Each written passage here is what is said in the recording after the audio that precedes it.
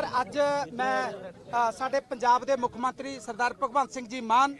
ਔਰ ਸਾਡੇ ਪਾਰਟੀ ਦੇ ਸੁਪਰੀਮੋ ਅਰਵਿੰਦ ਕੇਜਰੀਵਾਲ ਜੀ ਰਗਵ ਚੱਡਾ ਜੀ ਔਰ ਸੰਦੀਪ ਪਾਟਕੀ ਜੀ ਦਾ ਧੰਨਵਾਦ ਕਰਦਾ ਕਿ ਮੇਰੇ ਵਰਗੇ